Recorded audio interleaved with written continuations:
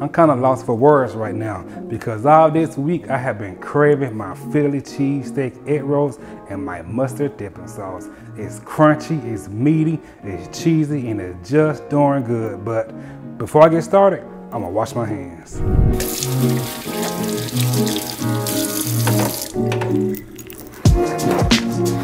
So the egg rolls is perfect if you're a big entertainer, got your family and friends coming over, and you want them to remember something, them eat egg rolls because I promise you, it will be the talk of the town. The whole world will know about it because they're gonna be like, who made the egg rolls? Larisha and Creek Creek. But if you're not a fan of beef, you could do shrimp, you could do chicken, seafood, jackfruit, veggies. Any possibility when it comes to making the egg roll. If you think it, you can make it. But I'm gonna go ahead and get started with cutting up my vegetables to make my egg roll that much more flavorful. Let's get cutting.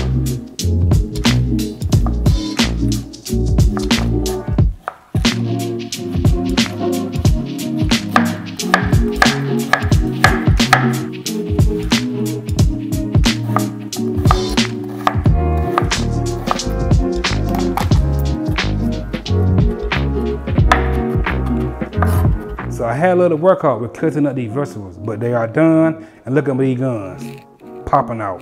Mm. All this came from the chopping. But I'm gonna set my veggies to the side now and time to get the beef. Beef, beef, beef. I love me some beef. Can't take it away from me. But I have me a pound of organic grass-fed chopped beef.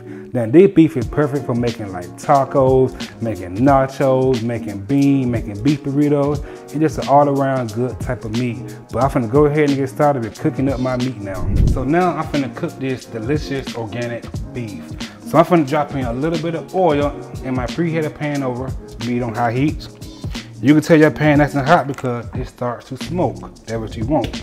To get a nice brown color on that meat, whatever you're cooking. So in goes the um the beef.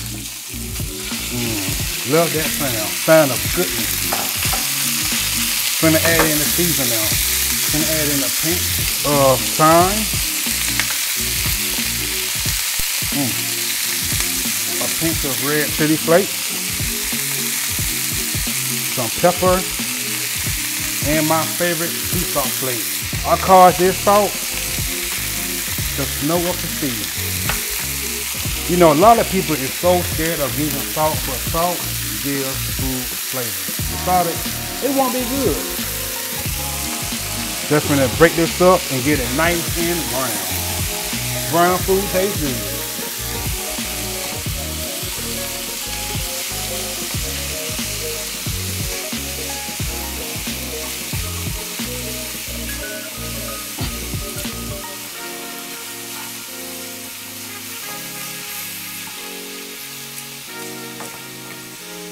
So I just drained the fat from the beef. I'm finna give it a taste to make sure it don't need no more seasoning, but it might do. Let's see. Mm. Add some more salt and pepper to it, just a little. Mix it around. Try one more time. Mm. Perfect. So I'm gonna put the meat to the side and get started cooking the veggies now. So now I'm finna cook the veggies. Finna drop in a little bit of oil in my pan over medium high heat. And I love using a stainless steel pan because when you cook different types of meat, it leaves all that flavor at the bottom of the pan and you just don't get that when you're using a non-stick pan. Simple as that. Finna drop in my veggies now. My uh, peppers and onions and garlic. Mm. I love the smell of peppers and onions and garlic. Here. I'm gonna add in some salt, a little pepper, and some more thyme. So I'm going to let this cook until the veggies are nice and tender. So the veggies are sauteed now. Now I'm just gonna add the beef back into it and mix it around so it won't have the family and make the egg rolls.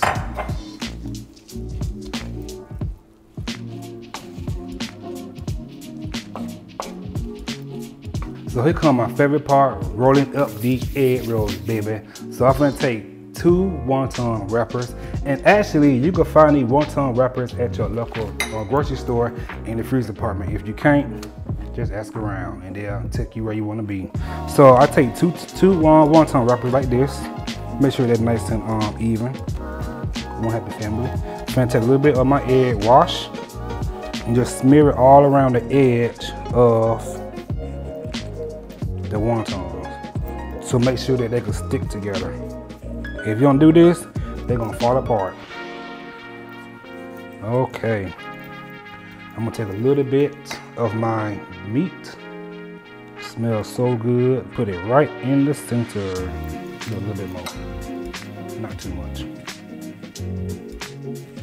Take some cheese. Mozzarella. You could do mozzarella, you could do Parmesan, you could do Colby Jack. It's up to you. All right, now let's roll. That.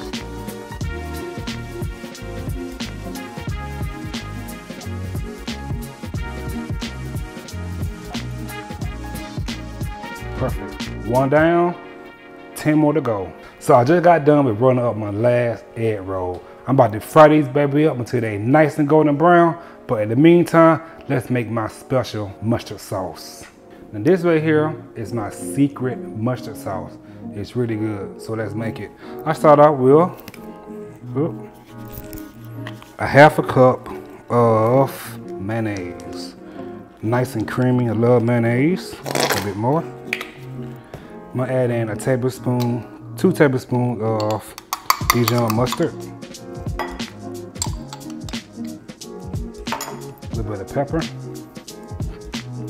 a little bit of salt, and some honey. A tablespoon of honey goes in for sweetness. Love honey. I'll mix it around. So everything is done. Let's put everything together now.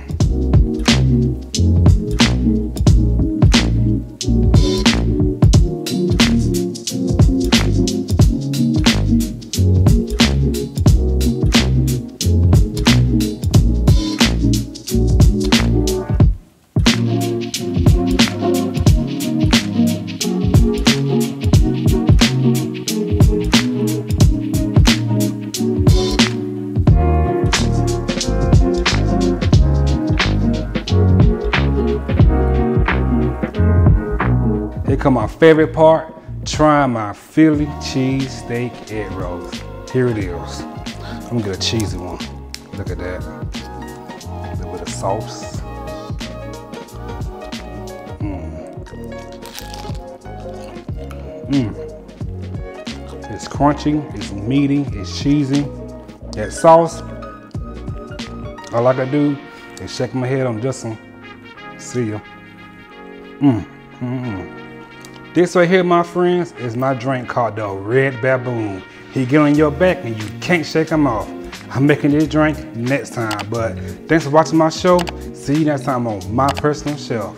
Peace. Hit that subscribe button at the bottom of the page.